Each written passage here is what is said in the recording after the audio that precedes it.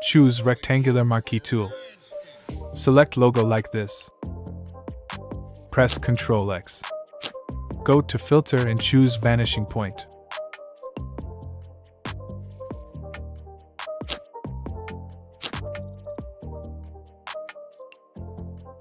Press Ctrl V to paste.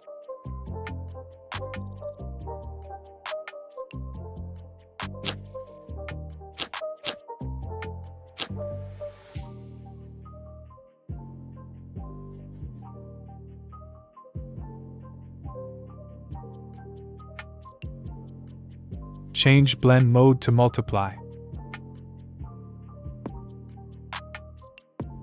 With any of selection tool select hand part like this. Hold Alt key and click on mask icon.